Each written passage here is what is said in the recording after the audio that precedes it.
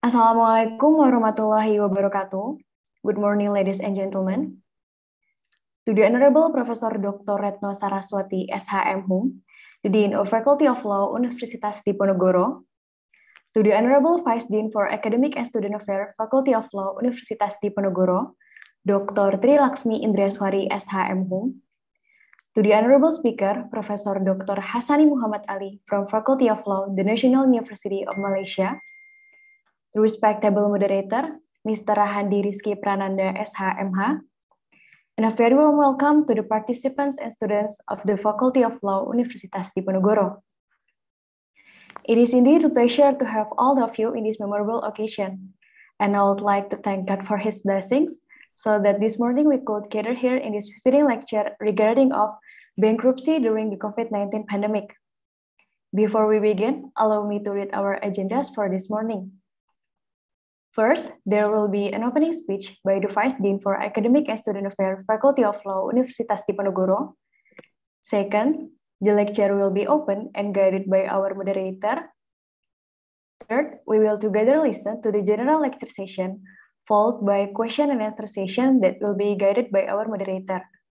And finally, at the end of the session, there will be a photo session with all participants and also the closing session for today's visiting lecture.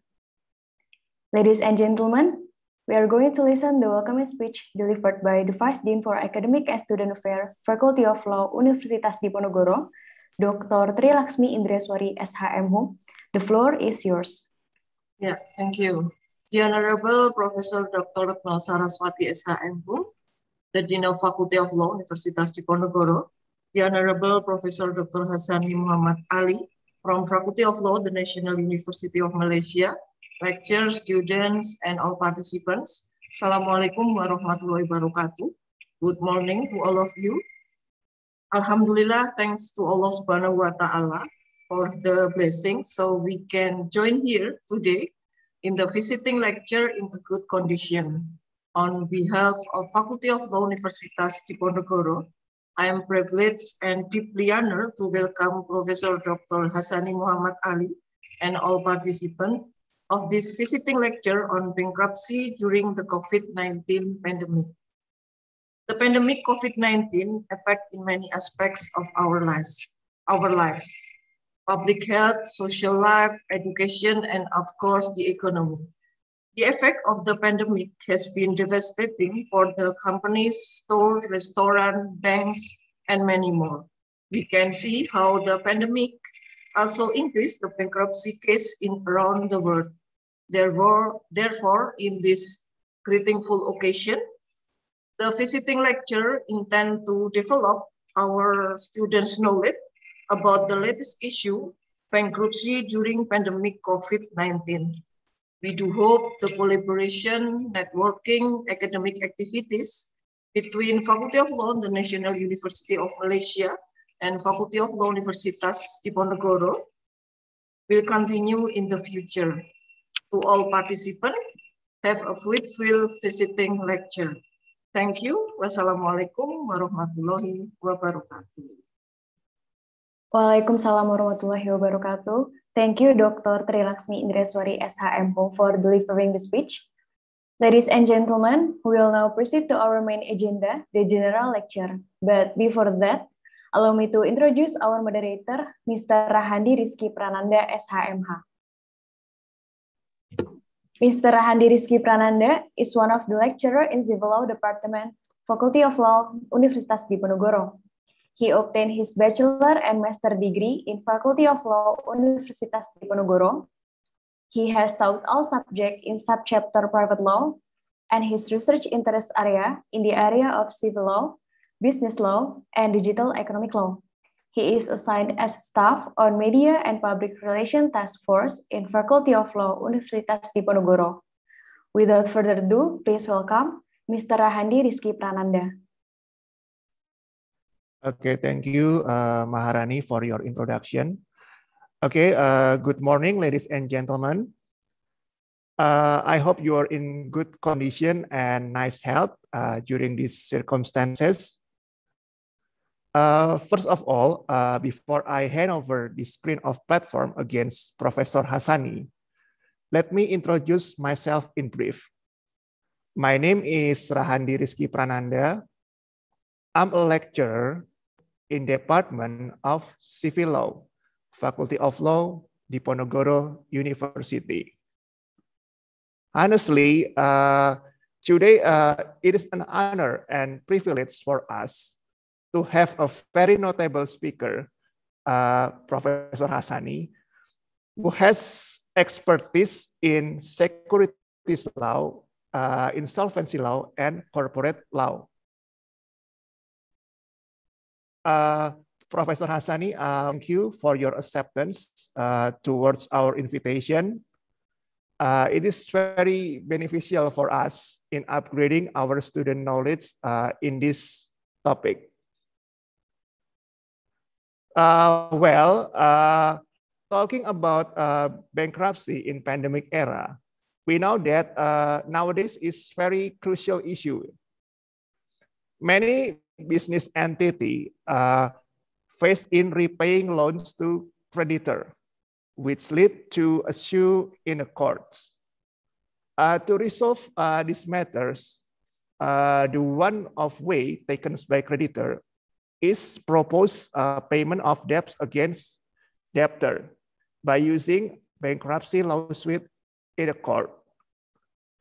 Uh, can we imagine that COVID-19 outbreak that has not clearly ended, but it brings a huge impact on the number of bankruptcy and suspension, suspension of payment cases in the court. Uh, this condition is quite worrying because it proves that many companies facing difficulty in fulfilling their payment obligation against creditor. Uh, it is need uh, some innovative policy from the government to resolve this problem. That's why we need Prof. Hassani Muhammad Ali here to share his expertise to elaborate this sexy issue. However, before our notable speaker start his presentation, uh, let me read uh, his curriculum vitae uh, by share screen. Uh, professor Dr. Hasani Muhammad Ali, LLB LLM, is a professor in Faculty of Law, the National University of Malaysia. Next. He completed his LLB degree from International Islamic University Malaysia in 1994 and he continued his LLM degree from Sheffield University, United Kingdom in 1996. He continued his study uh, for a PhD title and obtained uh, this title in 2005 from Dundee University, United Kingdom.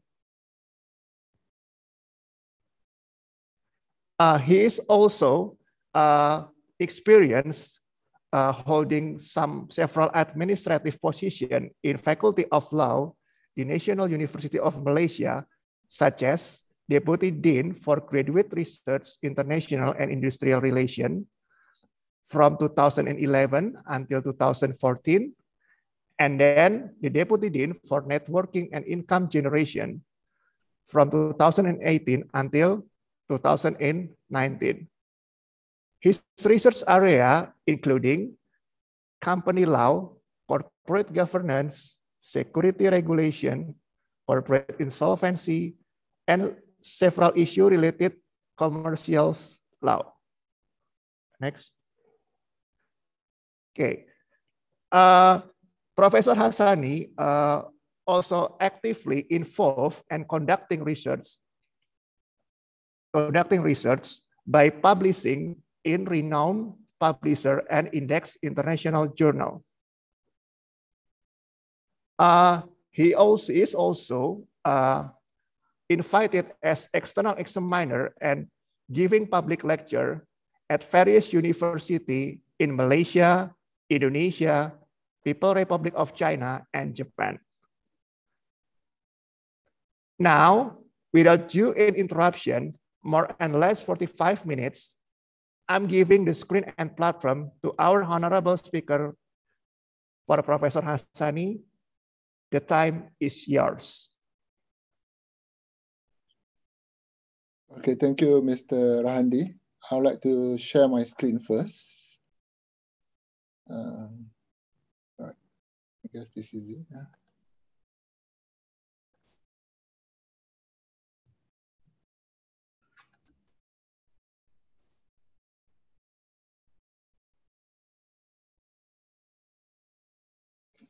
Okay, thank you, Mr. Rahandi, for the kind introduction.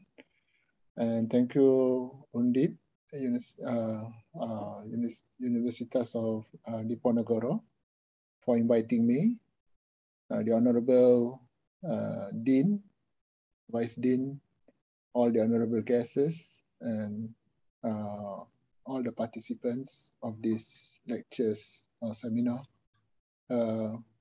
I'm honored to be invited and uh, I, I actually determined the topics regarding bankruptcy during the COVID-19 pandemic with special reference to Malaysia. Uh, this is based on what I personally think probably have some many common commonality or similarities with the situation in Indonesia uh, just happened that I also am now writing an article relating to the COVID-19 and the bankruptcy with a friend from Surabaya. So I got some input and insight from what happened in Indonesia as well, which are not that particularly different from what happened in Malaysia.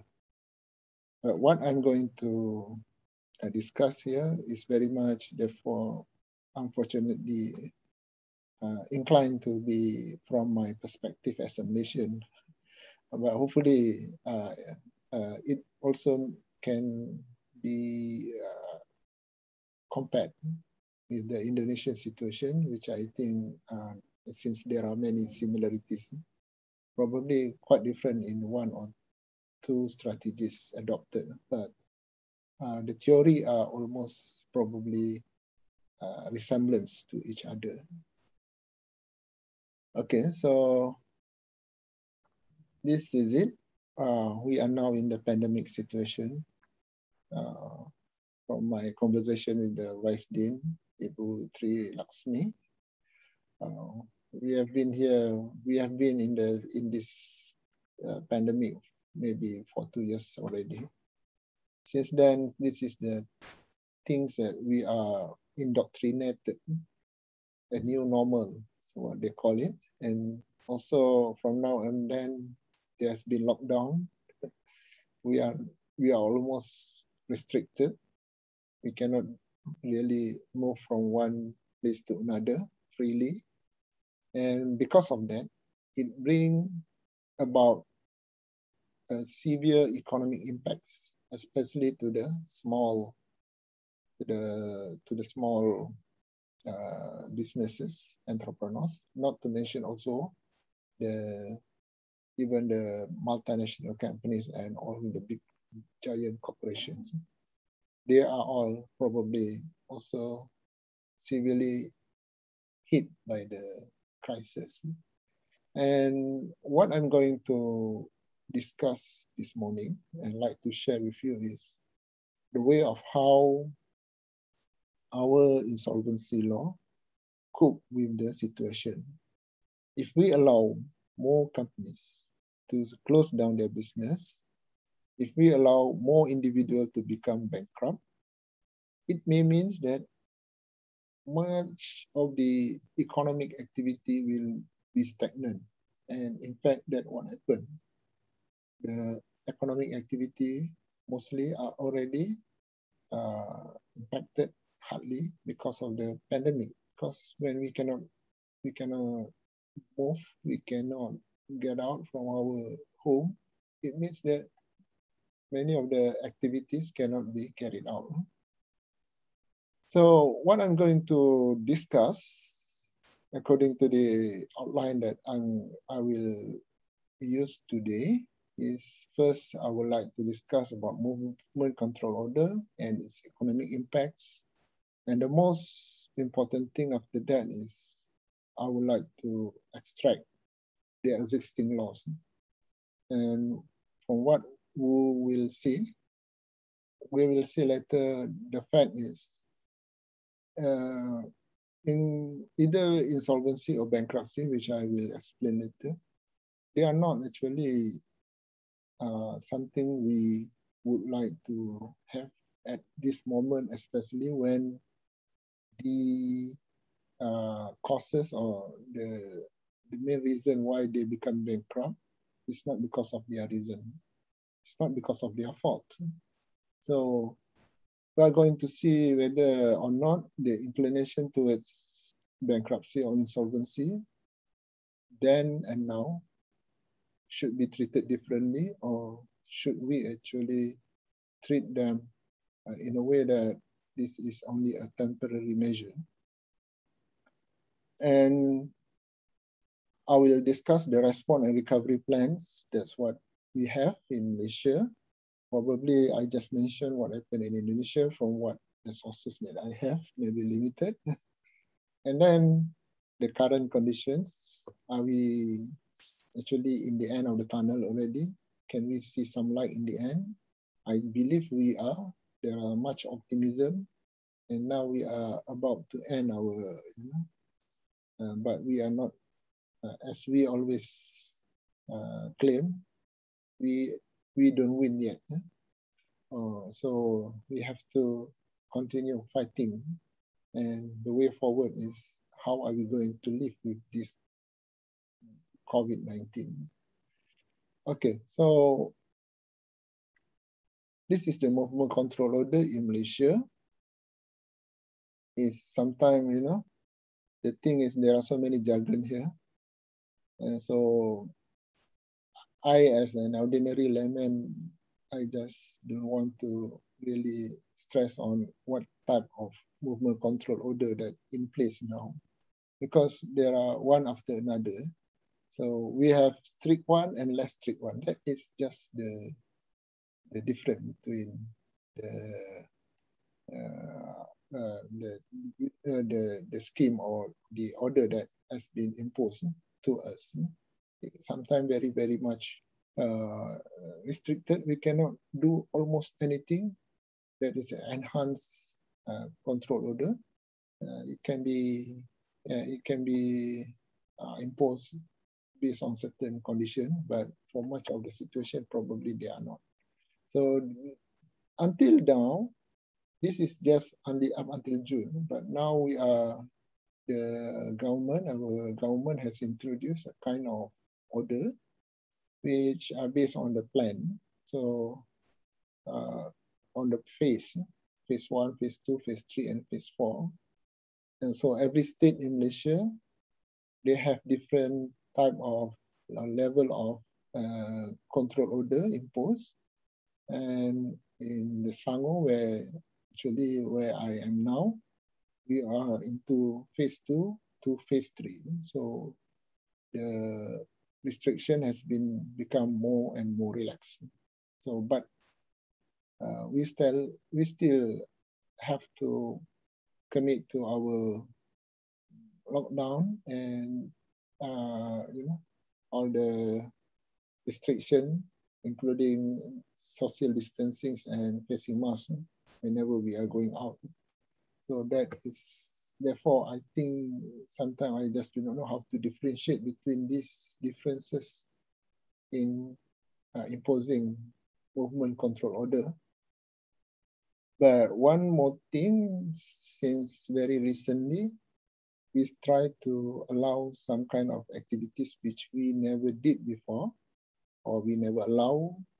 Uh, for example, in relation to uh, uh, tourism.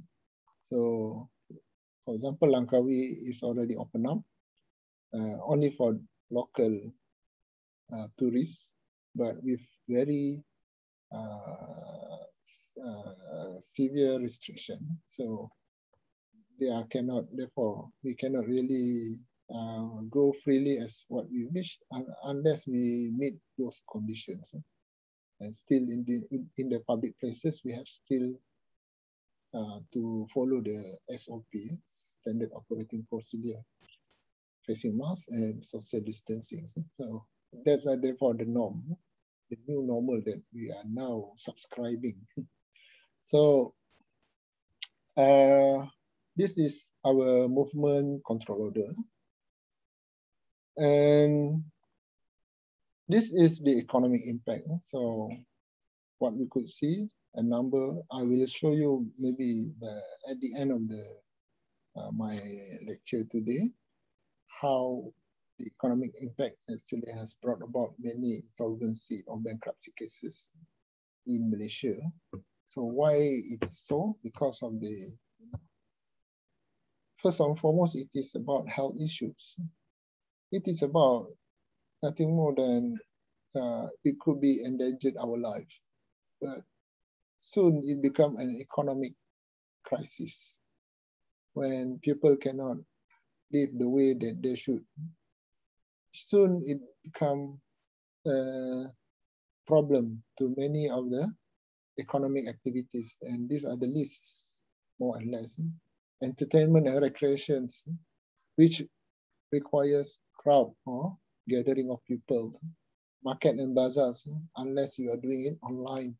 Many business knows how just to be creative, go online, and actually some of the business actually got a huge fortune because of the pandemic.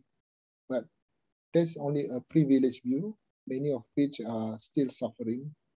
They are suffering because of the the, the fact that they cannot run business the way they should, or to the extent that this, uh, into the scale that they may enjoy profitability. And at the same time, there are so many of these panic buying and essential item shortage. Sometimes, uh, you know, what we could see in Asia, for example, the price of the commodity or the price of the basic needs can easily move up because of the, you know, the movement between states are not relaxed. So somehow it affects uh, the way of how they distribute foods and so on. And not to mention restaurant and eateries, they are almost, you know, uh, non, uh, uh non-active. Uh, only very recently, some of the restaurant and eateries are open, open up for dine-in, but unfortunately, many of the population actually are very skeptical. So they cannot really enjoy the number of uh, customers uh, getting into their restaurants, dine-in. Okay, so, and also not to mention tourism.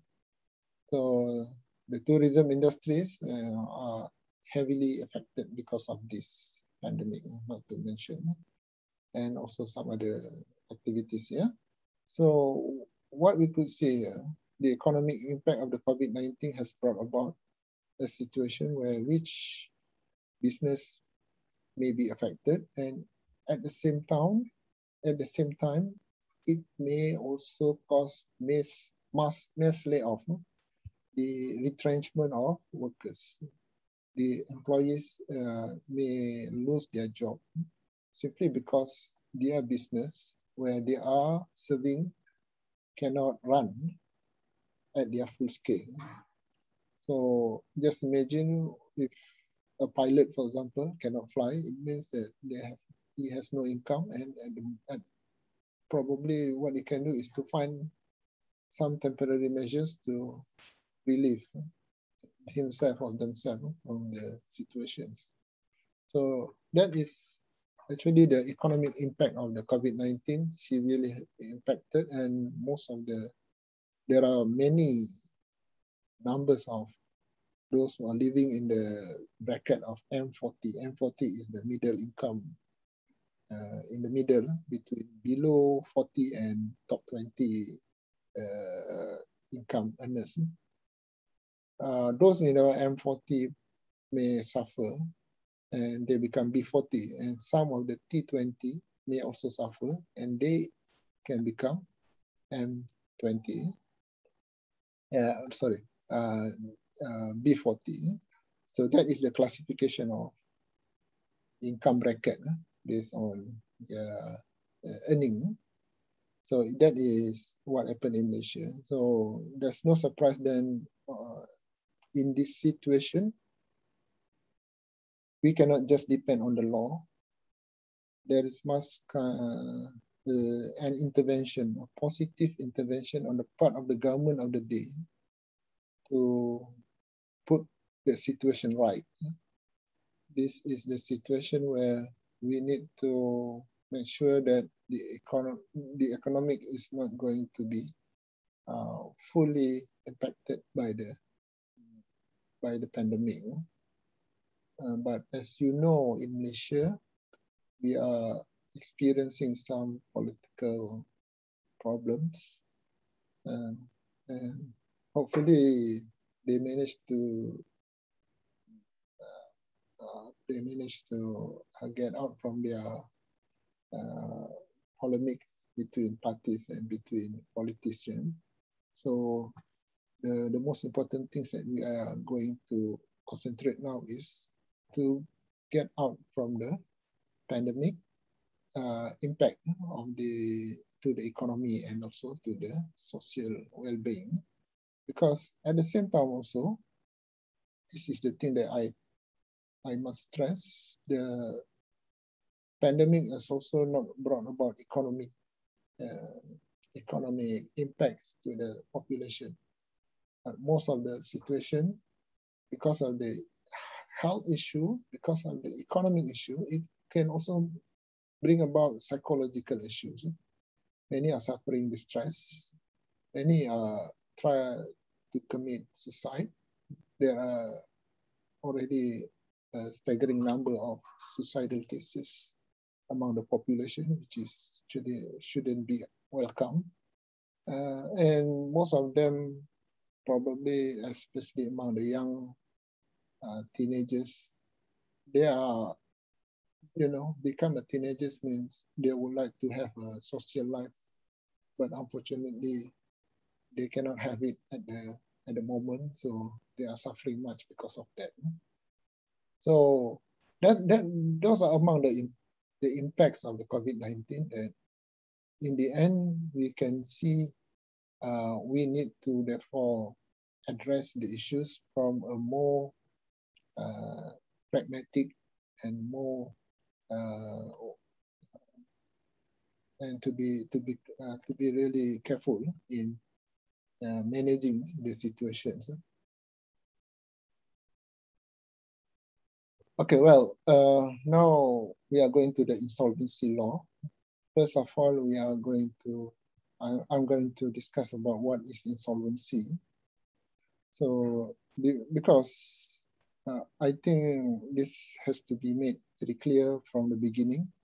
This is the concept that we are going to discuss throughout the issue relating to the insolvency and bankruptcy. So when we refer to the terminology, actually bankruptcy and insolvency, they are they carry almost similar meaning. There are no difference. Eh? But in terms of the use, for example, in Malaysia, we don't use bankruptcy for companies. Eh? Bankruptcy are only for the individuals. Eh? We normally use winding up. So the winding up or liquidation of the company, it means that the company is towards the end of its life. And the bankruptcy is just a situation where uh, an individual has been uh, held a bankrupt because he cannot pay his debt. So that is the difference between the terminology and bankruptcy. But in US, for example, bankruptcy refers to almost the same just like insolvency. The insolvency is in fact a concept which justifies both winding up and bankruptcy among the individual. So when we are talking about insolvency, it means that for example, when we refer to a company, a company can pay, cannot pay its debts when it falls due. When a company cannot pay its debt when it falls due, it falls due means if you have, uh, for example, uh, for a period of time to rectify your situation. If you cannot pay in time, it means that you may be given some kind of delay. Uh, you are allowed to delay your uh, your payment, maybe up to two months. But after that, maybe you become commercially insolvent. So that is insolvency. It means that uh, I will touch about this later. It can be determined either through uh, commercial tests or even uh, uh, the test based on the uh, asset and liabilities. So those that is the concept. The insolvency justify the action taken against the individual or the company and in order to make them bank, uh, bankrupt or wound up uh, liquidation. So those are the concepts uh, relating to the insolvency. So for the purpose of my lecture this morning, I would like to touch on the personal bankruptcy as well as the winding up as a whole I would like to refer to the fact that they are they are uh, actually some rehabilitation or rehabilitative strategies that we allow because nowadays the tendency is toward a shifting towards recognizing more allowance and more rooms for them to uh, to pick a rescue regime they shouldn't be made bankrupt. They should be allowed to uh, to rectify themselves before they become bankrupt or uh, the company become uh, uh, subject to a winding up proceeding. Okay, so that is a little bit about insolvency law and its concept. And now I would like to move to the objectives. So when we refer to the textbooks, there are so many objectives of the insolvency law.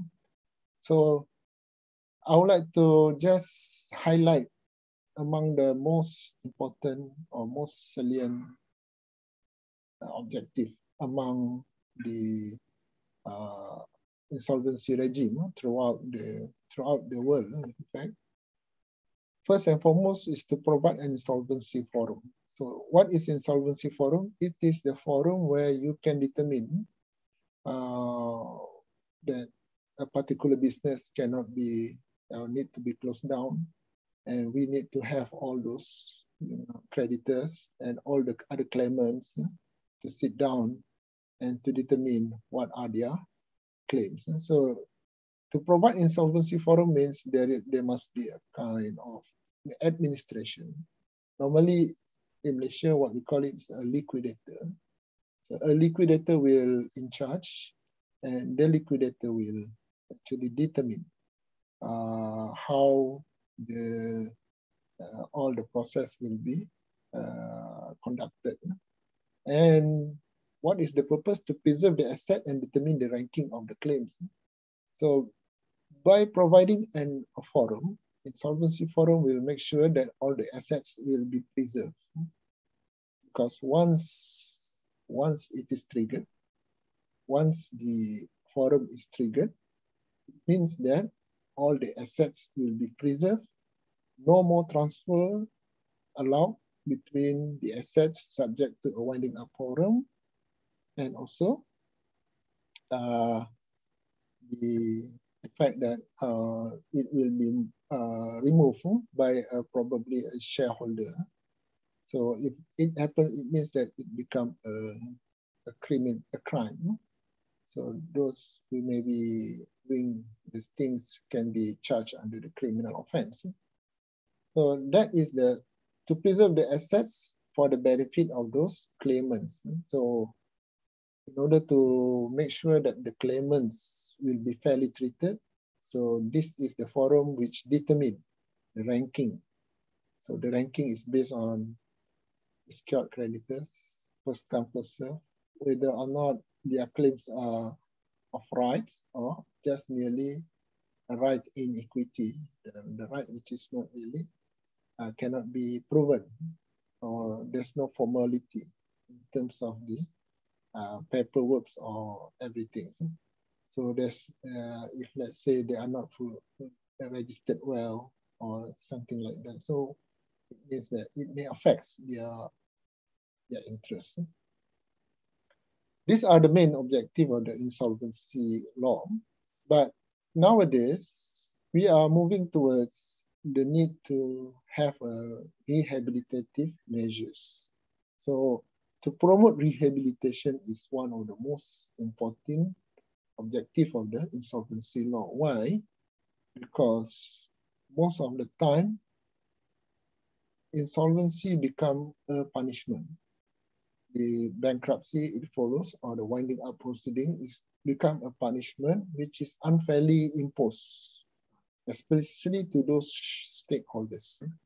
What I mean is this is not just because of the shareholders or the manager, which are culprit managers.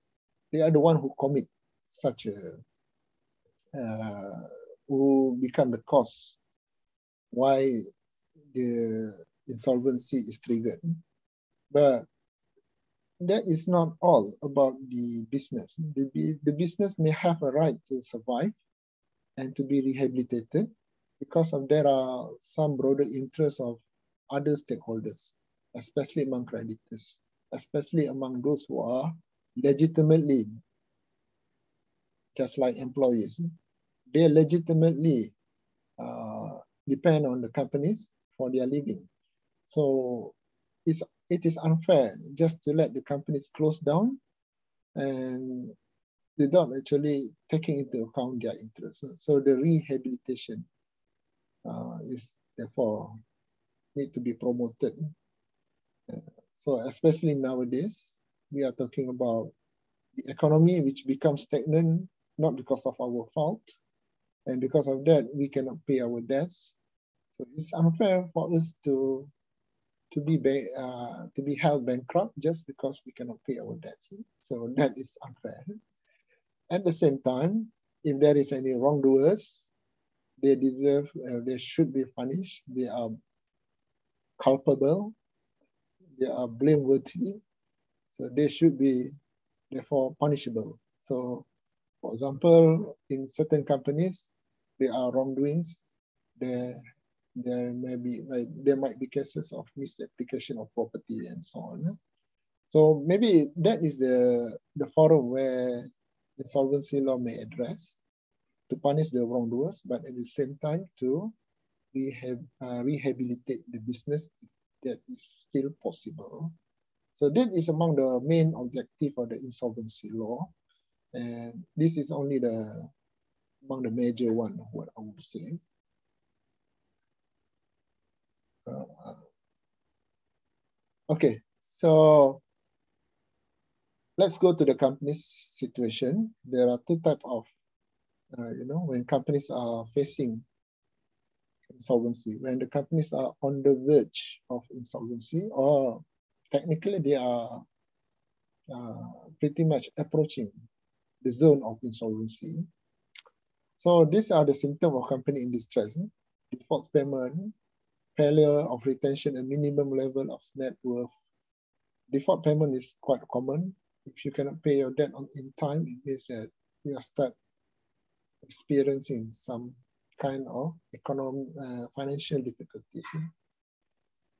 So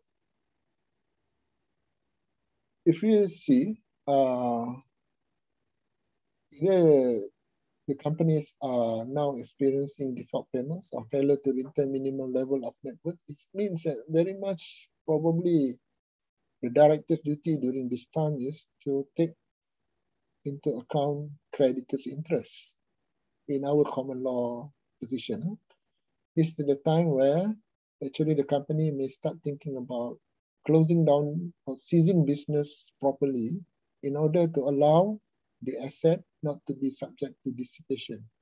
Or maybe the asset will become lost just because of the further trading which are unproductive or no, no longer profitable.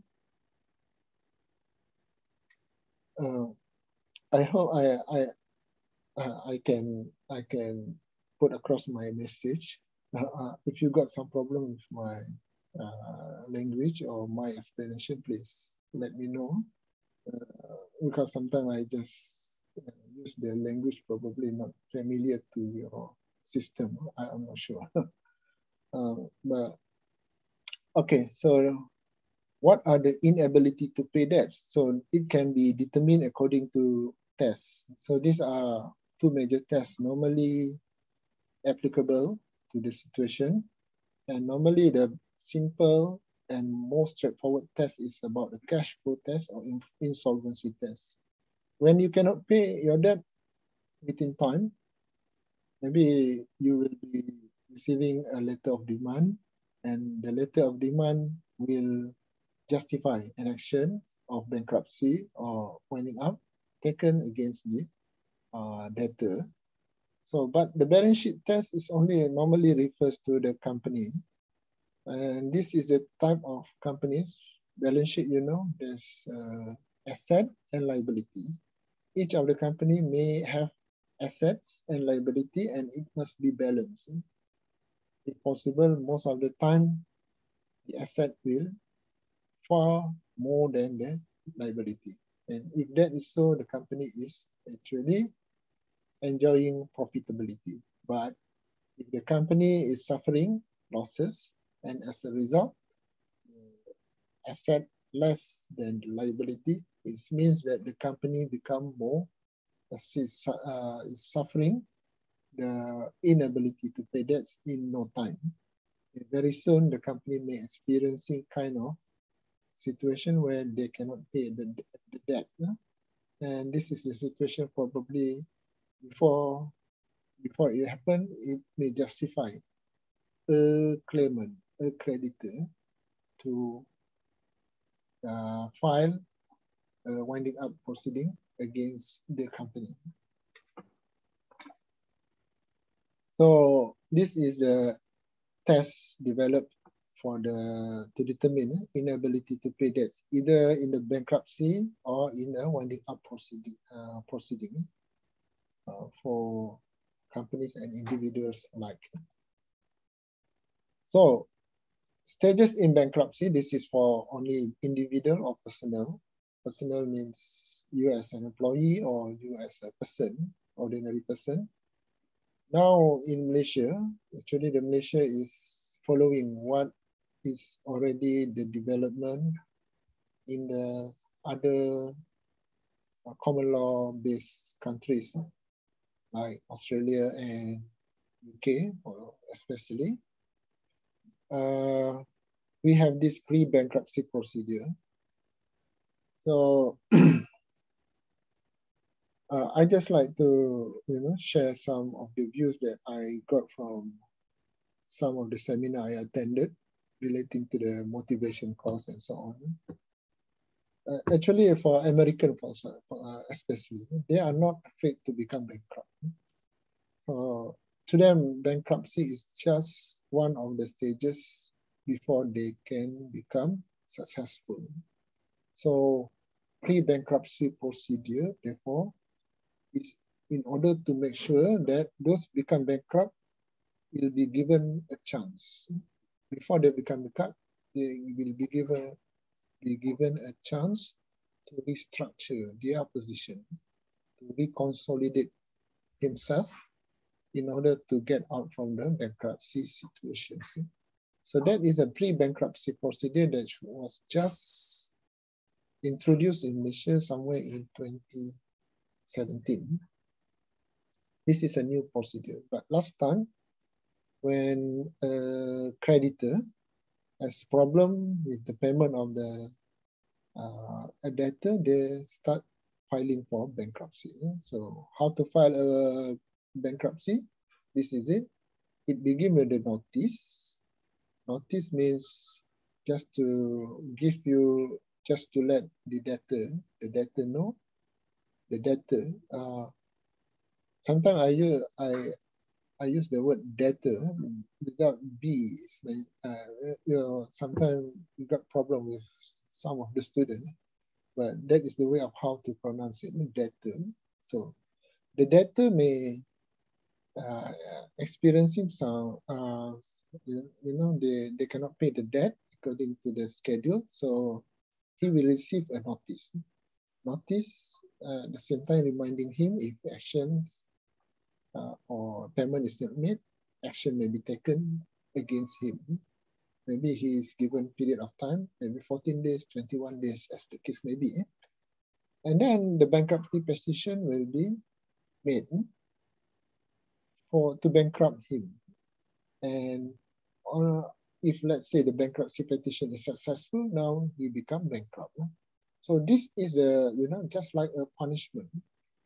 Uh, in the more advanced jurisdiction, they would call bankruptcy is a protection, meaning that we cannot do anything more to the bankrupt. So that is a protection to them. But in this kind of, you know, the flow of the event, it seems that it is a bankrupt because once you become a bankrupt, you cannot deal in business anymore. You cannot buy, you cannot uh, possess property, cannot own property, you cannot enter into transactions and so on. You, the, the bankrupt person become uh, incapacitated, losing his capacity to enter into a contract. So that's what happened. Normally, when bankruptcy procedure is uh, taken against uh, an individual. So that's why we would say the bankruptcy petition is normally served as a uh, uh, punishment. And in fact, long, long time ago, history from a, a historical perspective, those bankrupt must be jailed. So that is even worse. Those bankrupt must be jailed because he cannot fulfill his duty or his obligation to pay his debt. That is what happened in maybe 100, 300 years ago. So after the bankruptcy petition and a person can become bankrupt, he may be discharged from his bankruptcy. So uh, I think in Malaysia, in Indonesia, we call it bangkrut, kebangkrutan. So in Malaysia, we call bankruptcy. So, okay, that is for personal, for personal law. And this is since 2017. The situation since 2017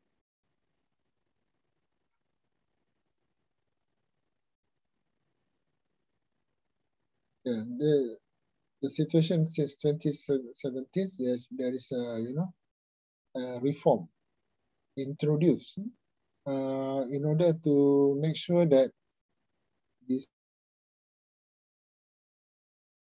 uh, bankruptcy will be uh, relaxed or at least can be uh, can be controlled, not not to be uh, applicable to many individuals, just like when they serve as a social guarantors. Social guarantors means someone who like to do their, if let's say someone would like to further his study and he would like to make a loan and he need a guarantor. So a guarantor will, because when he made a loan, he has no earn, he cannot earn. But uh, he is protected. Uh, the, the social guarantors who give him a guarantee if let's say the payment cannot be made in time. This kind of social guarantors will just like to help others. They should be protected against bankruptcy proceedings. And that is just introduced in 2017. And then introduction to the voluntary arrangement for a bankrupt pre-bankruptcy proceedings. A pre-bankruptcy proceedings uh, one woman.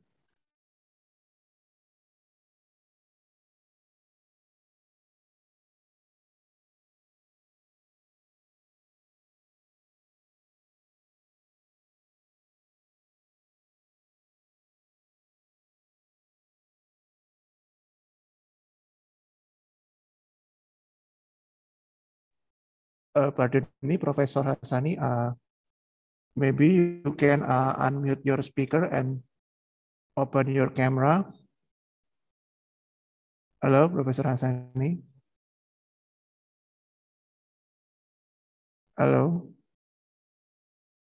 Am I audible, Professor Hassani?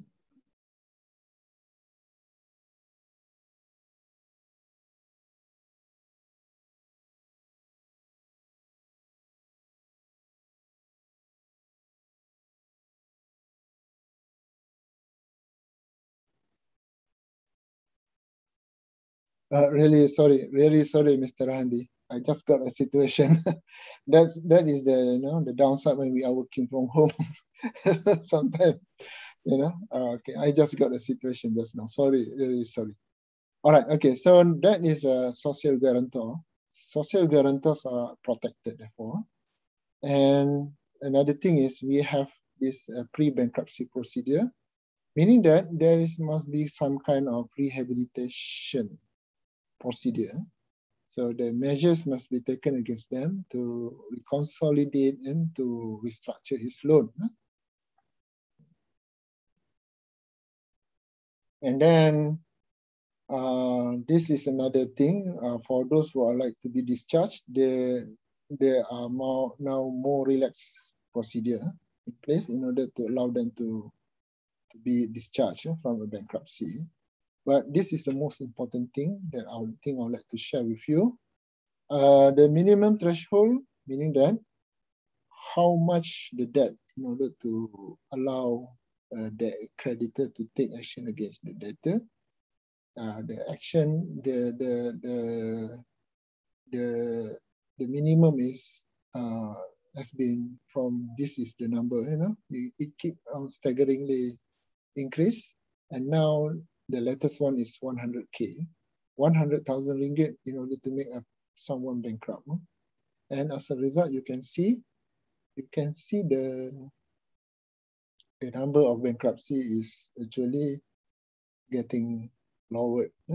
But not because of there are not many of them who afford to pay, just because they don't reach the threshold.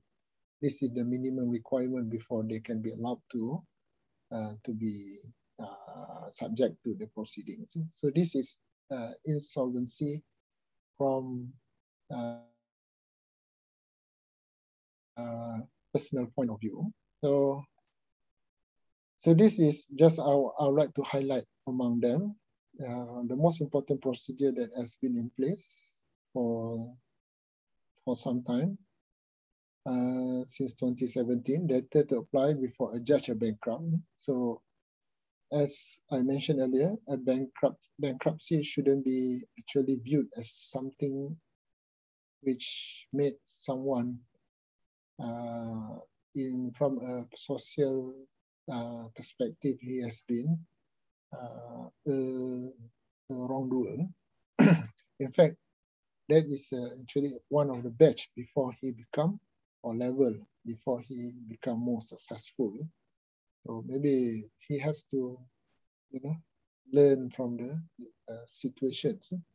So this is the, the, the, the way of how he may actually restructure his loan and probably get out from the situation. Nominee is appointed. Nominee is someone with the qualification to, uh, in order to make him, uh, you know, to guide him how he may reconsolidate his position and application for interim order. So uh, application for interim order, order it means here is the order to uh, to have all this statement or his position as a bankrupt person, how much is your debt and how much you can pay or are willing to pay from where your income is still coming and so on. And summoning of the creditors and be approved. This is a plan actually uh, I will like stress here, this is a plan from which we can help the bankrupt to identify ways possibly of how he can be, he can get out from the situation, bankruptcy situations. Okay, and this is another perspective.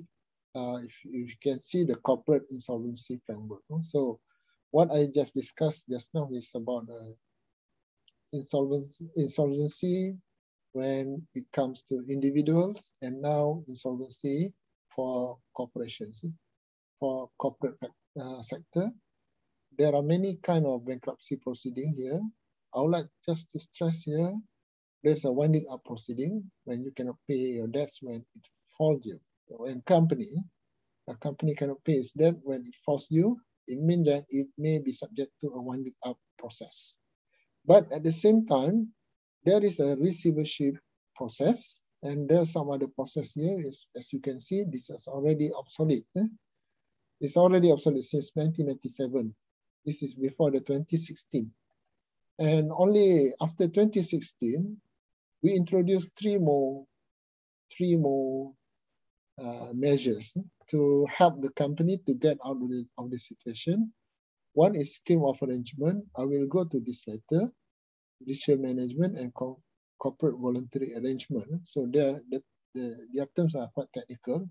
But what I'm saying is all these uh, scheme, uh, they are there in order to help companies to restructure and to rescue the companies from uh, subject to a bankruptcy or subject to a winding up proceeding. When we're talking about scheme of arrangement, scheme of arrangement applies to a company where the company can restructure without the interference of uh, interference of uh, outsider. So they can they can just restructure with the sanction of court without interference of anyone from the outside. Judicial management means a judicial manager will take in charge of their company. So meaning that the existing board of directors will need to go if they are asked to by the judicial manager. This is what we borrow from Singapore. This has been around in Singapore for some time. And another thing is corporate voluntary arrangement. This is different from the scheme of arrangement in that under the corporate voluntary arrangement, they will have uh, someone called nominee who is going to um, put in the restructuring plan. So this is good for the company which do not know what to do. And for the first one scheme of arrangement is the company which actually would like to get out of the situation without interference of uh, an outsider. So I will go to this later, but this is the, I just like to highlight, there are some measures uh, aiming at the rehabilitating the companies. Okay.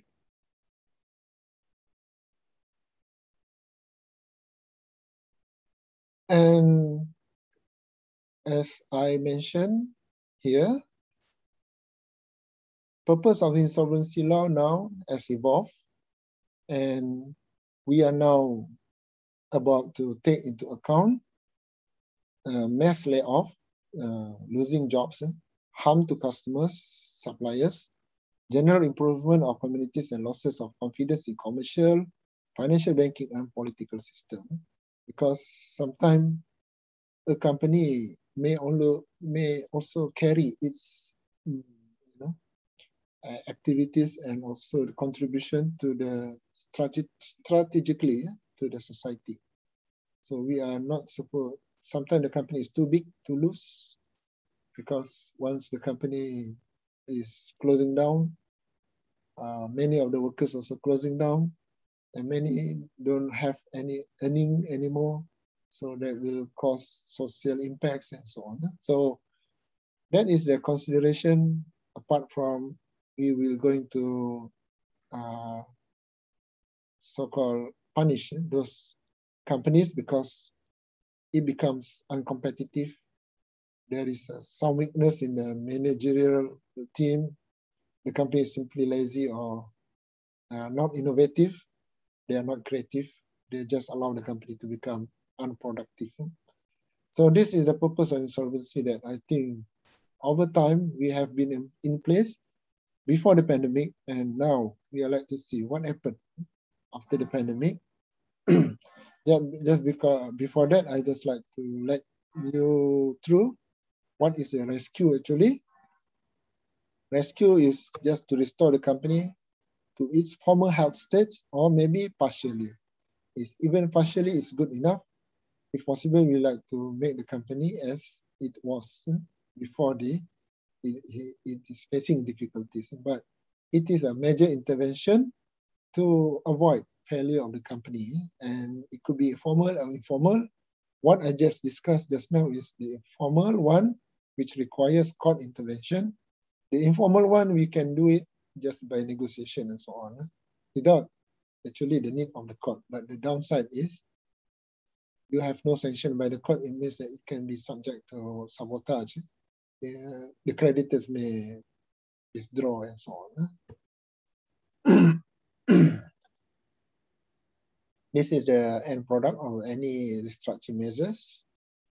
The company may be restructured, restored, or maybe pieces of the business will be subject to a sell-off, meaning that it has been probably some of their subsidiary can be still operating uh, or can be downsized.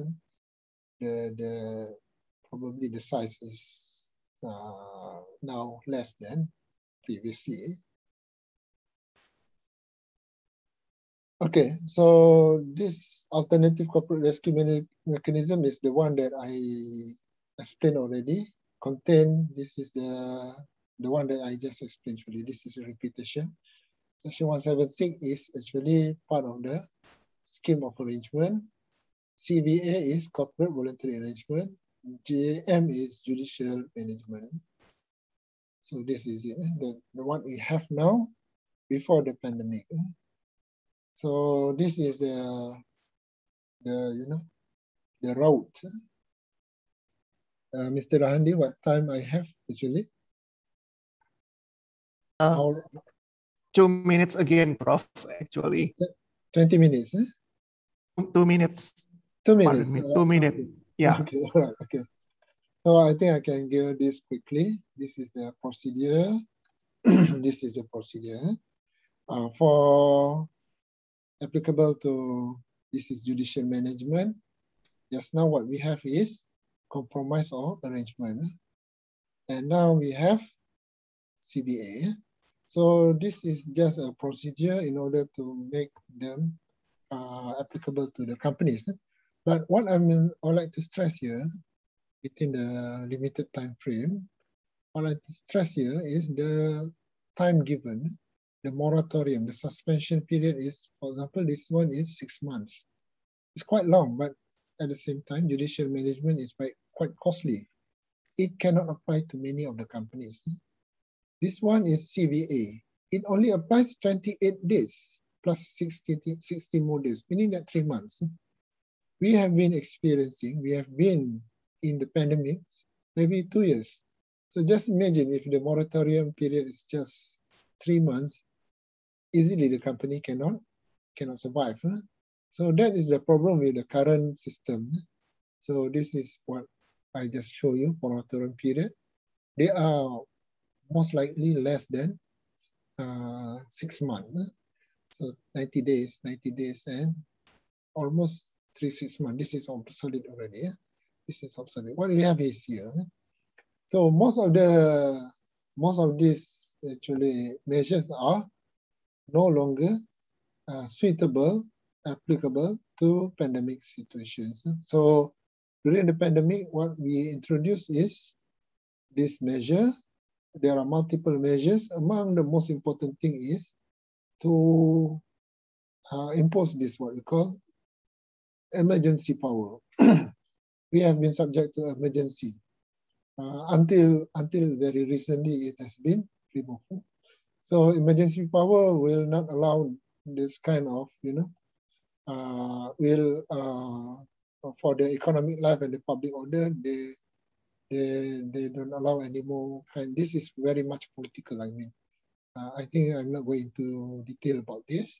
This is much political, just not to allow uh, the other part, the other block uh, to question about the prevailing government government of the day. But you know, the national government has uh, changed their prime minister many times.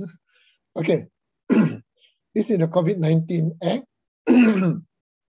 2020, which was introduced.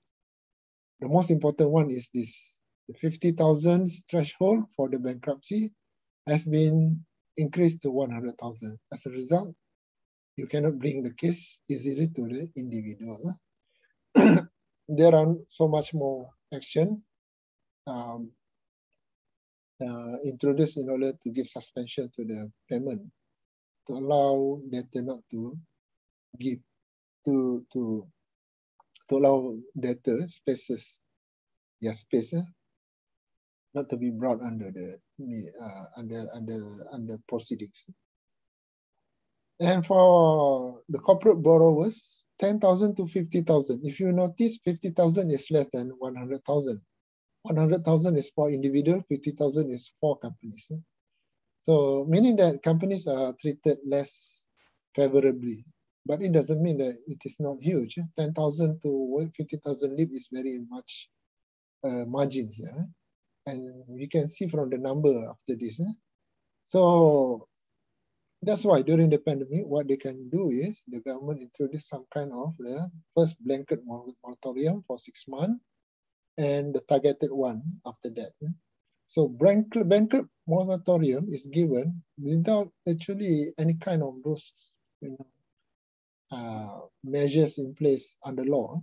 This is purely a government measure just uh, out until 20, 30, 30, this one year already. 30, 30th of September 2020.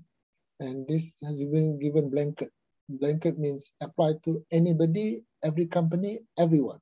So this one is when the first MCO, movement control order was introduced. But the targeted one, and then because the bank cannot really, uh, you know, uh, absorb the amount of non-payment here. So after that, those who can pay uh, continue to pay, and those who cannot pay need to apply to the bank. So they have to therefore become targeted. Huh? So at the same time, there are so many economic stimulus packages. I'm not going to deal with this in length. I just like to let you know at this moment, the most important thing is for the suffering business, they need injection not just vaccine. Vaccine, they need, they, they, not only the people need vaccination, but also the, the business also needs some kind of help, additional help from the government. So these are the kind of you know packages aimed at them to let them to recover. So we have the various phases for this purpose. And you know, eventually we hope that in the end we can see some kind of light in the tunnel. This is economic package relief. We are now call ourselves in the phase of pemulihan recovery, recovery uh, phase. Okay, so what I just like to stress here, uh, it's not enough for the government, it's not enough for the individual, it's not enough for the uh, laws in place, just to address this situation that we have now. We have really a bold policy in order to get them out, to put things right. And what we can see is the moratorium for six months, which has been blanketly given, and further moratorium, suspension of payment to the debtor uh, in the uh, uh, you know targeted targeted among those who are not capable so we could see the back when they partition from 2009 to 2020, 2021, April up until April here. Statistic that uh, we have, you see from 2021 and 2020, we can see the marked difference here. Not because of there's less case. We know this is during the pandemic, but because of the because of the threshold, because of the uh, moratorium. This because of the government assistance. And similarly, this is the number of the uh, cases we have uh, with respect to the uh, winding up petitions. And this one is for bankruptcy petition. it's very small here, but I just could show you, for example, in Selangor, or Wilayah Persekutuan is what we call Kuala Lumpur. From 2019, 2020 to 2021, so we have less number of cases. So because of the government intervention, because of the positivism among the governments. So hopefully that is the way forward.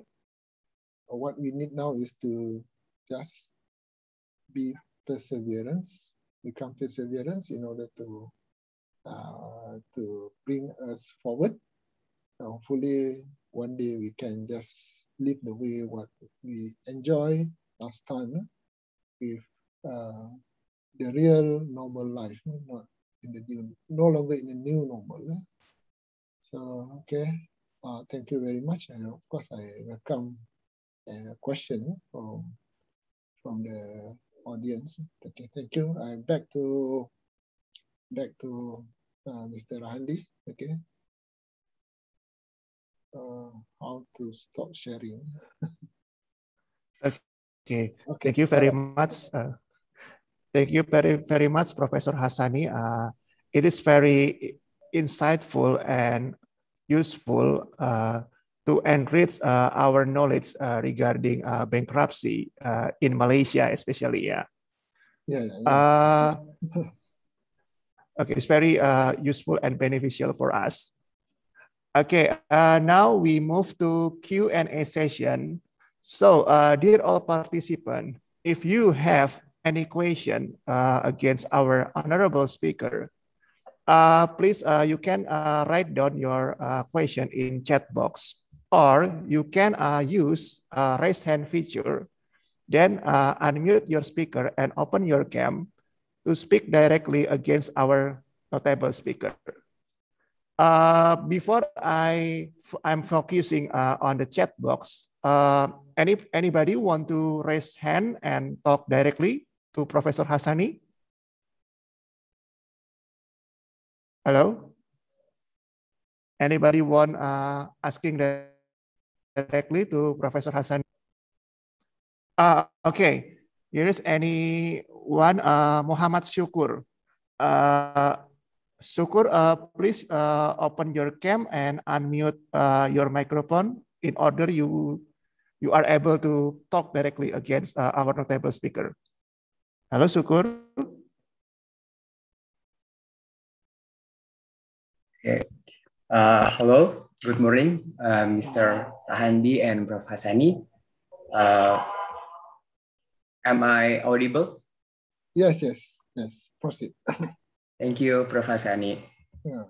yeah. Uh, first of all, uh, Prof, my name is Muhammad Febrian Syukur, and uh, I would like to ask you a question.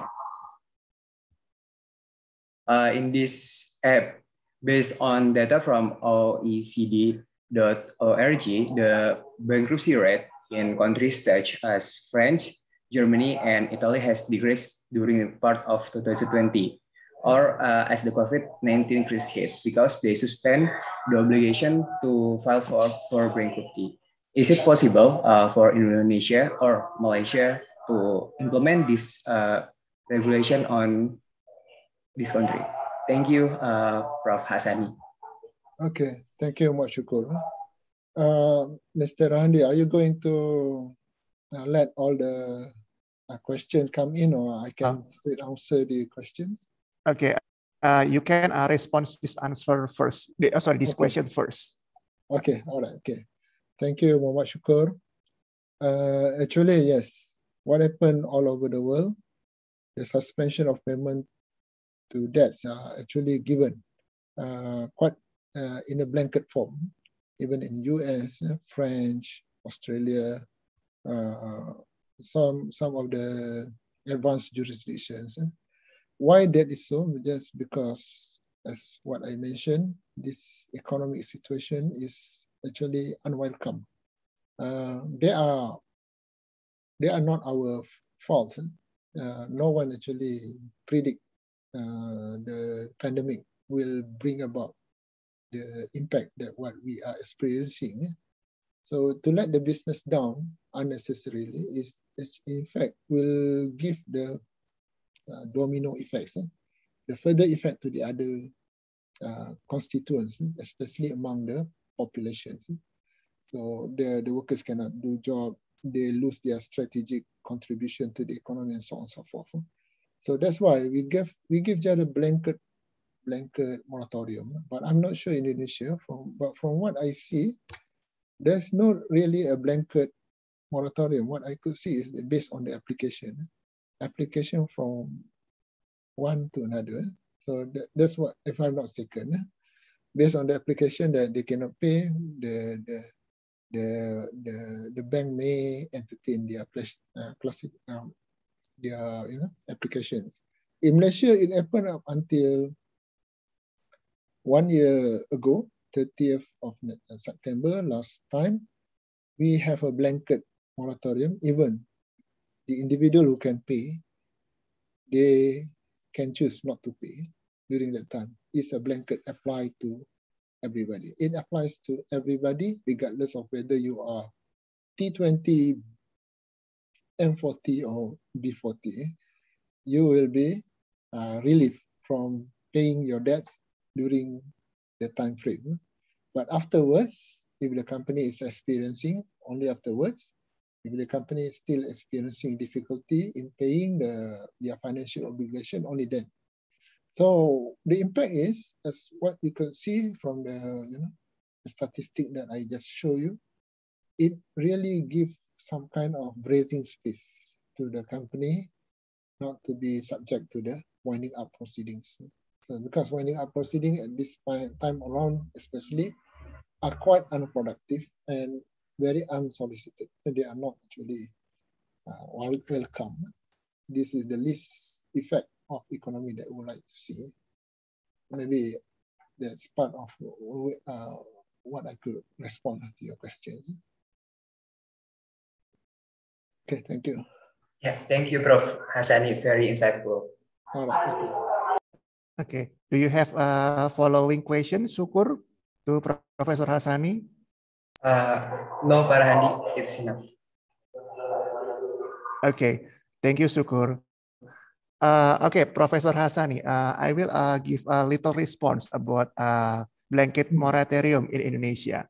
Okay. So uh, this uh, this course uh, bring pro and cons uh -huh. in uh-huh. economic uh, expert Yeah. Yeah. Yes. Okay. Uh, uh, for pro pro side, uh, the reason is uh, this policy uh, already uh, applied in several countries. Mm -hmm. uh, and the other side, but on the other side, uh, we know that uh, Indonesia is the, the one country who suffer a financial monetary crisis in 1998. Yes. Yeah. This is about uh, moral hazard potential. Mm-hmm. Moral hazard potential. So uh, on the con side, uh, maybe Indonesian government uh, not ready to uh, apply or uphold uh, this policy nowadays because uh, we consider uh, about uh, the moral hazard potential that mm -hmm. can arise from this mm -hmm. policy. Mm-hmm. So uh, why uh, Indonesian government uh, still uh, until now uh, not yet uh, apply this policy in our country? Mm-hmm. We just wait and see first by looking on another practices in another at other country. Yes, Professor Hasani. okay, thank you for your you know for your explanation regarding the Indonesian situation. Yeah, yeah. we are. Uh, I think we have to respect the policymakers, and I think Indonesia learns a lot no, from what happened, especially in 1997, 1998. they become more careful in managing their economy. Uh, so maybe maybe that's the reason. But after all, the blanket moratorium nowadays most of the country already uh, removed that. Now, the moratorium is still given, but the, the suspension is based on the merit, based on the case-to-case -case basis. Right. Yeah. Okay, thank you, Professor Hasani. Okay, okay now uh, Before I'm moving to chat box, maybe uh, any another participant uh, want to talking directly uh, to Professor Hasani? Any other participant want to open mic and asking directly? Okay, uh, now uh, because uh, nobody want to ask directly, now uh, we move to chat box question. Okay, all right. Uh, the first question coming from uh, Mr. Welly Yapin. Uh, he is uh, our international undergraduate student. Okay. Okay. Uh, the question is, good morning, Professor Hassani. Uh, I would like to ask, in this pandemic situation, many companies are petitioned for bankruptcy. If the company wants to make a going concern effort to consider the continu continuity of the business, then what needs to be considered in this regard? Thank you, Professor. Okay, so uh, I must answer this from a Malaysian perspective that I know because uh, I'm not really aware what happened in Indonesia on this. But in Malaysia, for example, uh, as I mentioned, there are uh, rescue regime. So the rescue regime is in place eh, in order to to avoid action taken against them. Eh. But uh, let's say there is a, you know, even if we have a blanket moratorium, that blanket moratorium only applies to uh, to the banks uh, within the bank system. So the bank cannot take action against the company, but that does not prevent company from uh, subject to the actions by other claimants or other creditors. So what we have is we have the rescue regime. The rescue regime actually maybe uh, with the sanction of the court. That's why we can do it formally. We apply to the court in order to make sure that we are uh, given room for a negotiation. So, so, what happened in the negotiation is we would like to ask uh, to ask for the uh, sanction by the court in order to allow the company to propose a plan to get out of the situation. So that's what happened. And I just mentioned in Malaysia, there are three types of major rehabilitation measures. One is scheme of arrangement, where the company doesn't need an outsider. They work out their plan on their own. Or we can have a judicial manager. Judicial manager will be actually proposed and appointed by the creditor. And also uh, CVA is uh, uh, the corporate voluntary arrangement. This one will require uh, participation by an insolvency practitioner. We call it uh, nominee. Nominee will put up a, a, plan that we can work out for a uh, rescue regime or rescue procedure. So to get out the situation, that's what in Malaysia. So at least we have still have that kind of you know uh, uh, procedures in place eh, in order to protect the company from being wound up at the time when, especially this time around, when the, the economic become inactive because of the situation. And apart from this is apart from the fact that the threshold for bankruptcy or for the winding up the company has been heightened, has been uh, increased from, uh, you know, 30,000 to 50,000. So 50,000 ringgit eh, is a very huge amount. Eh. So when it applies to an individual, it has been up to until 100,000 ringgit. Eh. Um, I don't know how to calculate at the moment. Uh, it's been, uh, but 100,000 and 10, 50,000 is quite for, uh, uh, uh, you know, uh, uh, more higher than higher than the previously imposed uh, the amount. That's what I could respond. So it depends on the court uh, whether or not they are convinced whether we can secure the therefore the voting of the majority of the creditors uh, to agree with our plan. That's what I, I could say in Malaysia. Okay, thank you, uh, Professor uh, Hasani. Uh, uh, let me, uh, if you uh, oh, please, uh, I want a response a little uh, about uh, this business going concern in Indonesia. Yeah. Yes. yes. Uh, principal uh, business going concern in Indonesia, uh, which accommodated in the uh, in into law number 37 2004 uh, regarding to insolvency and uh, suspend to payment.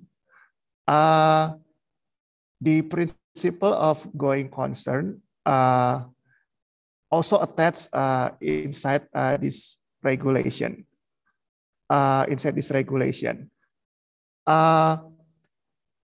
Uh, it's mean that uh, the state uh, giving opportunity against debtor to do first restructure, restructuring his debt uh, by uh, paying all of his debt or only a part of his debt against uh, the creditor. So uh, uh, it wish to the all obligation from debitor can be running smoothly. Uh, and the debtor can uh, fulfill its obligation and uh, continue his business. So uh, yeah. it's it is uh, in Indonesian situation that mm -hmm. I can uh, describe in brief. Okay, thank you. okay, uh, we are moved to the next uh, question from Rosemary. Uh, Rosemary also uh, international undergraduate student uh, mm-hmm. here.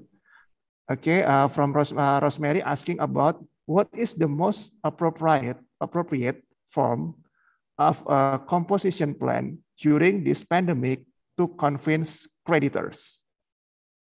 Yeah. What is you. the most appropriate form? Yeah. Thank Please you, respond Rosemary. it, uh, Professor. Yeah. Yeah. Thank you, Rosemary, for the questions. Um, yeah, it's not easy actually to convince creditors, especially if they are the one who have uh, most stake eh, in the in the in the loan or in the unpaid loan of the companies. Eh. But what the situation is, especially during the pandemic, when we know the company cannot move on, and actually the business just cannot uh, operate the way how it operated uh, before the pandemic, it doesn't mean that this is a temporary situation. If let's say we allow them to take the action, there is uh, many possibilities to, to, to this. Apart from the other stakeholders concerns, we also probably may have a situation where even the creditor themselves cannot be paid in full. Why that is so? Because the possibility is most of the assets also probably facing the same problem of in terms of the valuation. Because most of the assets in the company are not, um, most of the collateral for the purpose of the uh, loan given, not necessarily coming from the uh, solid asset of the company. They might come just for because of their goodwill. It depends on the goodwill of the company. So maybe the, the, their collateral is another share in the company. So they are also suffering losses. So in the end, if even if they stick to their plan to wind up the company, they still cannot earn or they can cannot still get back what they uh, expect because of the you know the, the domino effects of the Uh, uh, price of the property at that time.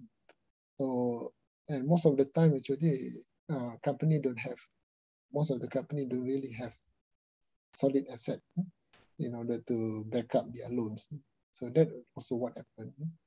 So even if the collateral, the collateral just does not enough hmm, to pay them. So what is the best way out? Let them restructure let them get out of the situation when the times comes. I think that is the the best way out. Uh, I think that's one of the ways of how to convince uh, there could be many more ways. Uh, okay, thank you, uh, Professor Hasani. Okay, now uh, before I continue to read uh, the question from chat column, maybe from the participant want to asking directly to Professor Hassani. Okay, uh, the question from Miss Anggita Doramia Lomban Raja. She okay. is uh, our lecturer in Faculty of Law. Okay, uh, Miss Anggita. Okay, this platform is yours now. Thank you very much for Mr. Moderator, Mr. Rohandi. Uh, good afternoon, Ms. Uh, Professor Hassani. Nice yeah, pleasure to meet you. okay, okay I want to ask uh, something regarding about digital innovations in uh, bankruptcy issues. So we right now know about uh, the development of the bankruptcy online uh, applications. Have Malaysia been applied these uh, applications uh, to uh, apply uh, to uh, provide the people to apply the bankruptcy forms in the digital uh, facilitations. That's my questions. Thank you. Uh, thank you, uh, Madam Anggita. So it's really a very interesting question. Thank you. Actually, I just have a seminar last two days about this digital development in uh, insolvency and also in other areas. What, what I could say is the problem with the digital economy, uh, we cannot really at the moment fail to tap the full potential of the digital digitalization, especially regarding the commonality of data. So what happened, uh, I do not know what uh, why Malaysia still facing this kind of problem. In the other in the other more advanced jurisdiction, for example, in UK, for example, they and other EU countries, European countries, they managed to uh, share data. Uh, they managed to share data without actually worrying that they may be manipulated or exploited.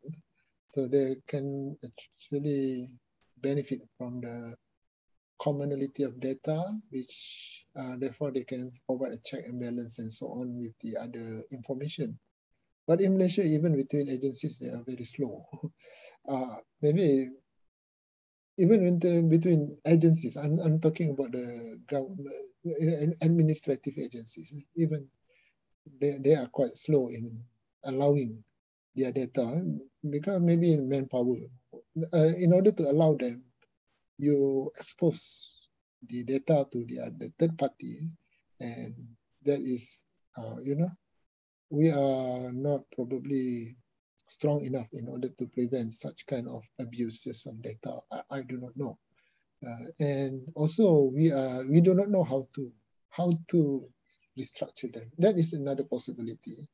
So, but yes, uh, I would say in Malaysia what we call SSM, Malaysian companies commission, the one which uh, actually regulate the uh, companies in Malaysia, they have this kind of electronic filing and so on. It's already in place, but not to the extent that they are 100% at their uh, uh, the possibility is the, the, there are many still rooms for improvement, what, what I could say. Uh, I do not know what so happened in Indonesia. actually, uh, so Malaysia have tried this uh, uh, these applications to provide actually during this pandemic. Yeah, yeah. We have to have uh, remotely access. So this uh, such uh, applications is very useful for the uh, users of the applications. Yeah, thank you very much, President. Yeah, hmm? many of the situation is the question about the validity how are we going to verify the validity of the information? So that is uh, you know, the challenge. yeah, yeah, yeah, yeah. Okay. Thank you very much, for Hasani, for yeah, the answer explanations. Okay. Thank you very much. Okay, uh, thank you, Ms. Anggita. Uh, do you have any further question, maybe? Or it is no, enough? Thank you very much. uh, okay. Okay, anybody want to raise hand again? and asking directly to Prof. Hassani. Uh, okay, uh, we are back to chat column, yeah. Uh, the next the next question come to uh, come from uh, Sela Amelia. Uh, hello, Prof. Hassani. Was the bankruptcy that occurred during the pandemic really caused by the pandemic, or was it because the company balance sheet already had problems? So uh, I think uh, she means that uh, the pandemic only the reason to dodge the obligation from the company. Mm. Okay, please, Professor Hasani, uh, the platform is yours to answer. Okay. Thank you. This is another very interesting question. I, actually, I really like these questions. Uh, the, the, the thing is, uh, for corporate governance, uh, I'm talking about corporate governance now. If let's say a corporate governance is in place for most of the company, they should have that kind of measure to predict the risk, to anticipate risks. Among them is the risk of possible pandemic may cause their business trouble or problems in years to come. And the ways of how to get out of this. Corporate governance is just not to check whether you are uh, there is a mismanagement or there is a creative accounting take, taking place within the company. That, that is not all, but also the good governance is to make sure the company is prepared. So how to make sure the company is prepared? Just among other things is to digitalize the company. Um, you know, for most of the company, when this situation, when they face this kind of, you know, difficulty situation, they, they know just how to route, reroute their activities. Eh? For example, if they know they cannot sell it uh, based on their premise, whatever product that they have, they may go online. Eh? Maybe they can find buyers and they can stay afloat and they can survive. Eh? That is another way how they can survive. For example, so they have many, many strategies just to get out of the situation, unless they are, for example, tourism but example, it happened to one of the airline companies in Malaysia. Uh, what they are doing is they cannot. One of the ways how they do do do uh, deal with the situation is by offering their catering business instead. Because they cannot fly, at least they can let the catering department of their the catering unit of their business still operate, eh, to continue. So that is among the strategies.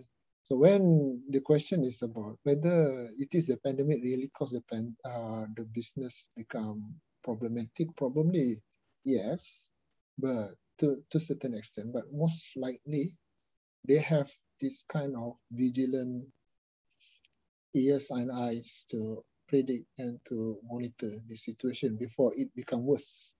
Uh, so there, there must be some kind of in place eh, in order to to avoid damages to the company before they can actually collapse. But only certain certain companies. Sometimes some companies just cannot have that kind of opportunity. Uh, that that so yeah, the this require therefore a due diligence and the duty of care on the part of the operators of the business, eh? or whether or not they have put in place all this measure to avoid eventual disaster. uh, I would say that, that's my opinion. okay. Okay, uh, thank you, uh, Professor Ani, for your elaboration. Okay, uh, are continue uh, on the next question uh, from Elisa Julie. Uh, Professor Hassani, I would like to ask if there is, is a Malaysian government policy that regulates debt relief for debtors to meet their obligation during this COVID-19 situation, where we know that many companies have gone bankrupt and cannot fulfill their obligation to pay their debts. Thank you, Professor. Okay. As I mentioned, when there is a blanket moratorium imposed up until 30th of September and has been actually uh, extended in a more targeted form, it means that uh, from the policymaker, they already actually put uh, in place some kind of measure in order to reduce the burden on the part of the debtors company if they cannot pay their obligation. Uh, so if let's say they still cannot pay and they would like to minimize the possibility the companies become or subject to winding up proceeding, what they can do is to therefore either to start negotiation. As I mentioned in the beginning, there are two types of rescue regime. One is informal, one is uh, formal. The formal one is the rescue regime that we have the sanction of the court, as I uh, mentioned. It could be a scheme of arrangement, it could be judicial management, it could be corporate voluntary arrangement. But on the other hand, we also have this kind of informal negotiation. So we can start with the informal negotiation. And after all, especially if the companies between the, the, the debtors and the creditors, if their uh, relationship is such, uh, they depend on each other. For example, they, they are in the supplier and uh, the other company is the buyers. So they depend on each other. So the best way out is to to to negotiate uh, about probably probably they need some space uh, in order to get out of this the situation for for for a while. Uh.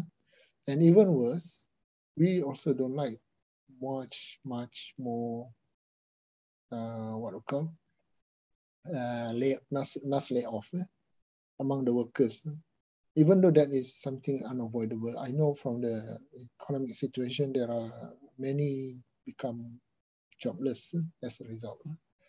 But we can try to minimize as far as possible the impact before it getting uh, from worse to uh, bad to worse uh, and worse to even worse.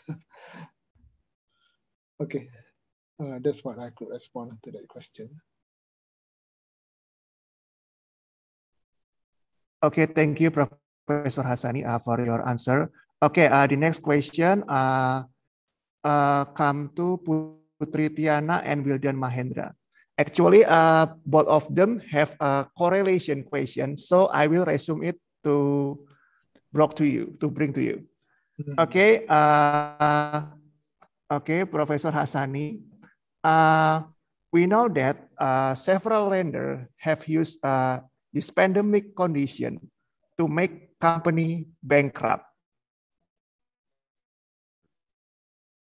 Even though the company is still able to carry out business acts regarding the present of bankruptcy moratorium and suspension payment, why, they, why, why do you think this policy needs to be implemented by law in Indonesia, uh, according the success story in Malaysia?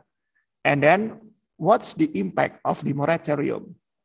And the third is uh, uh, what consideration of Malaysian government did before implementing implementing the stimulus blanket economic package. There's any three question, uh, Professor Hasani, who has same correlation. Okay. Uh, please. Uh, yeah. Thank you, Mr. Randy. So the question is about uh, given by Putri Tiana. Okay. Uh, yeah. Whether or not, and Wildan, yeah. Oh, Wildan. Okay. Uh, whether or not Indonesia will also impose a moratorium, I think a blanket moratorium that Malaysia imposes during the beginning uh, actually Malaysia just follow the example from maybe US and EU countries eh, where they actually introduce this kind of blanket moratorium. So Malaysia just follow suit. So that probably become best practice then. But now I think no no more blanket moratorium applicable to any economies just because why? just because nowadays, since especially the vaccination phases, uh, most of the situation getting better. They now call it pandemic to endemic. Eh? They, they, they just think that this is no big deal. The virus is just something that we can deal, we can know how to manage the, the, the virus. Eh?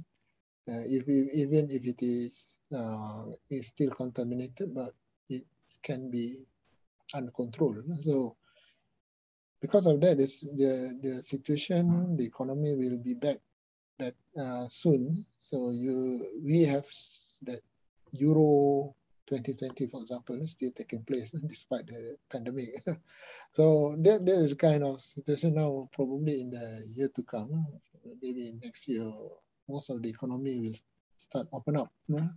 So therefore, we don't need that kind of blanket moratorium. But still, some companies are still suffering, especially if the companies are uh, restaurateurs or the companies are uh, tourism industries, airline companies. These are the companies probably may take time to recover compared to the other company. Some company making a huge fortune during this, especially pharmaceutical, pharmaceutical companies, or just like Malaysia when they are selling glove you know rubber glove yeah. they, they are they are making fortune so because of the pandemic so. Uh, and the next question is uh, what are the main consideration for the uh, Malaysia government? uh, the stimulus package the stimulus package is aimed at preventing the company from uh, not only to preventing company from being closed down unnecessarily, but the most important thing is to re uh, reignite, to allow the business to operate. And in order to do that is first and foremost, those most affected population must be given the buying power. Uh, so the buying power may be given from them, just give them money give them money in order to not not to let them starve, uh, suffering from the starvation, not not to let them hunger, but also at the same time they will stimulate the economy. So when the activity, the economic economy activities is taking place, so most likely the uh, the other domino effect is to the other business also start picking up. Uh, so uh, that's why mm, uh, they are aimed at the most affected segment of the economy, especially the small micro businesses, the you know this B40 and the affected M40 and the business which are affected directly by the by the pandemic. That's what I could okay. say. okay, thank you, Prof. Hasani. Uh, there is in uh, chat column any two last question uh, for Professor Hasani. Okay. Uh, the first one is coming come from uh, Miss Fanya, the Miss Fanya Putri Davanti. Uh, good morning, Professor Hasani. I would like to ask, are there any significant difference in bankruptcy in Malaysia before and during the COVID-19 pandemics? The comparative, uh, Professor comparison situation uh, about bankruptcy in Malaysia before and post pandemic.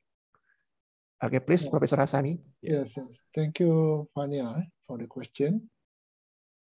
Actually, that's what happened. Uh, because of the threshold of the bankruptcy has been increased, uh, both for the individual and the company. So we could see therefore the bankrupt situations from the statistic that I just show you, it seems that there are less in number. Uh, that they are less in number because because of the uh, creditors cannot take or initiate petition against them. They cannot take action against those companies. That is why the reason why these companies cannot cannot be subject to winding up proceeding, why this individual cannot be subject to the bankruptcy proceeding. But uh, the, the truth is, uh, the pandemic has brought a situation where they become worse. financially. So just because they cannot reach the threshold, uh, that that's for sure. So it seems from the statistic, it looks nice uh, because the number is getting lower. okay, that's what I could respond to that question. So. Okay, thank you for your response, Professor Hasani. Response, Professor Hasani. Okay, uh, this is uh, the last question uh, from Raisa Sandra. Uh, Professor, I would like to ask you a question. We know that uh, just like Malaysia, Indonesia is currently also conducting a national economic recovery, one of which is also by providing a stimulus to SMEs. Do you think uh, providing do you think providing stimulus do you think providing stimulus uh, for uh, SME is an effective rescue for the SME since it is only a temporary fix to the current situation due to the government policy that going back and forth in reopening the economy. Thank you, Professor. Okay. Uh, I, I think I got two two issues here. Yeah. yeah. One, whether or not the, the stimulus will uh, actually save the company. Yeah. Okay. Because this is, after all, a, a temporary situation. But we also know that the stimulus package is also temporary in nature.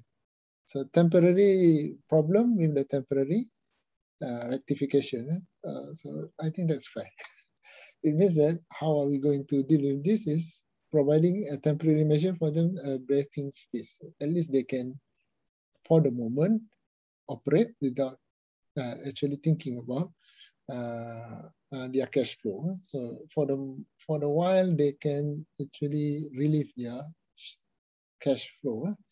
But uh, the government keep on, you know, imposing. Yes, that's what happened in Malaysia. That's what happened in Indonesia. Sometimes less restrictive, sometimes more restriction. So they they they keep on, you know, uh, they are they are not actually static. And they are uh, keep on uh, uh, changing yeah, from time to time. So I would say uh, the stimulus package, once uh, it is given, it's not for maybe for a period of one month, two months, three months. It may take time. So, so far what also what we are experiencing, the economy, since ever the stimulus package is released, maybe it's no, not, not more than one year, maybe. It's very recent. Only, only very recently the government, especially in Malaysia, the government is very uh, active in giving uh, packages to the to the needy. So I would say, given the optimism that we are actually have now, those probably hopefully they can still have the opportunity or chances to work out and to get out the situation. Uh, I think there's much activi uh, positivism nowadays compared to last time. So uh, mainly because of the vaccination program uh, in Malaysia especially. Uh, it's not because the situation become less con uh, you know the this, the situation become better. No, Uh, uh, because of the, the vaccination and people believe uh, and more confident that we will eventually uh, get back to the normal life.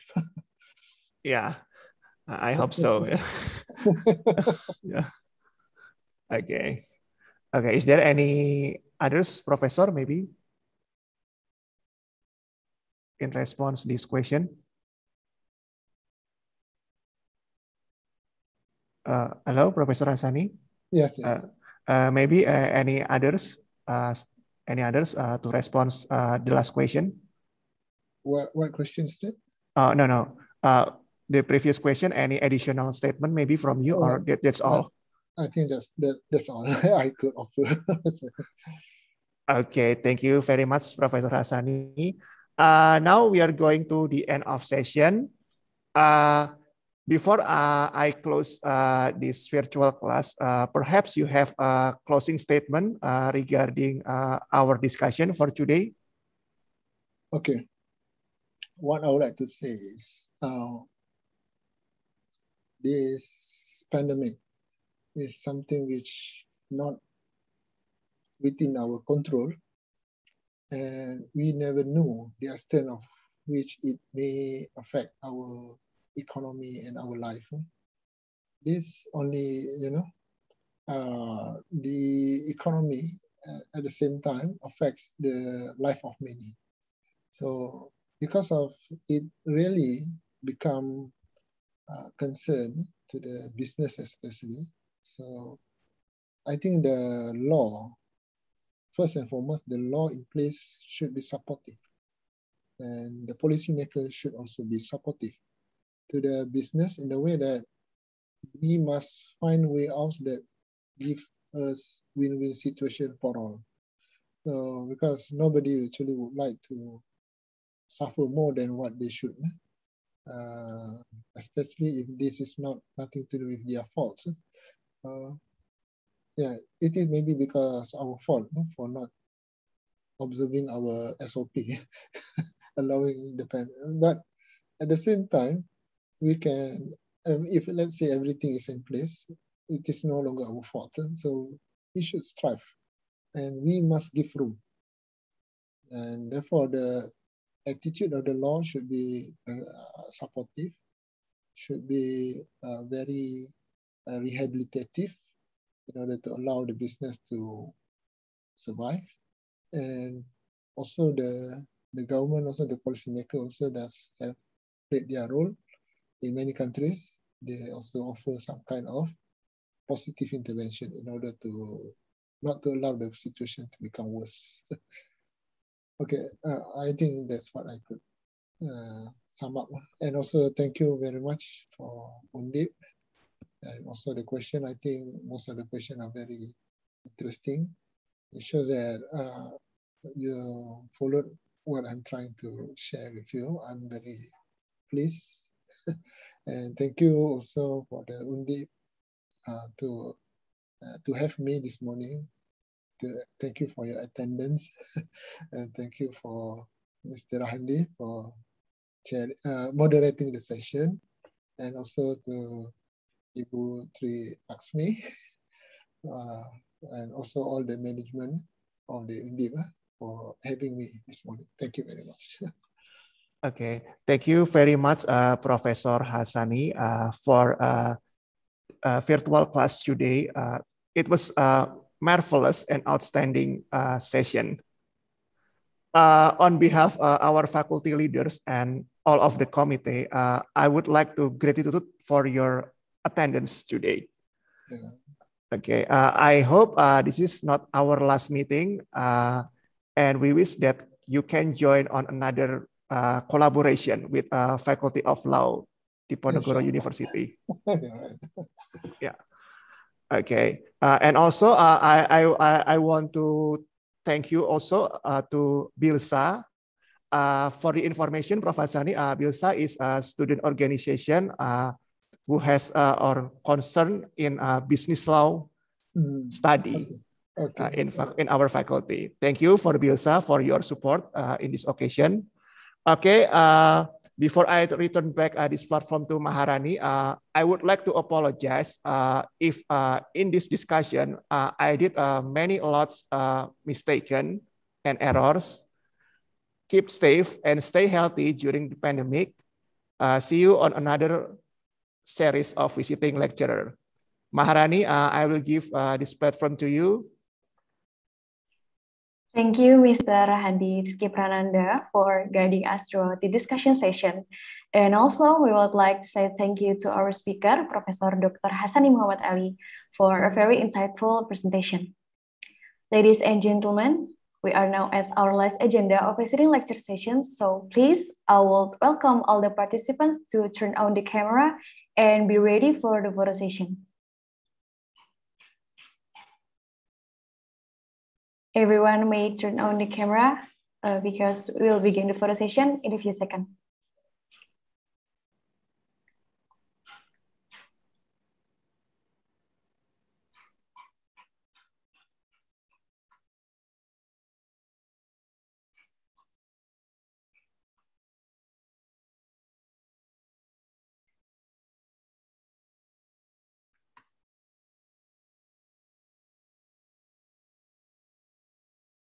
All right, we're still, we are still waiting for the other participants to turn on the camera.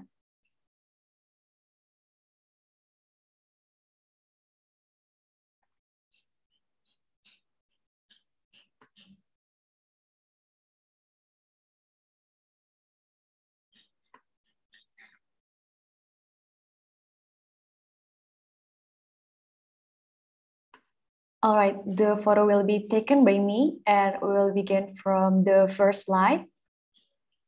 Three, two, one, smile. And the next slide. Three, two, one, smile. And the last slide. Three, two, one, smile. Okay, thank you so much everyone for turning the camera on and participating in the photo session. And thank you very much to all guests and participants for attending to the visiting lecture. Thank you for the active participation and also the attention during the session.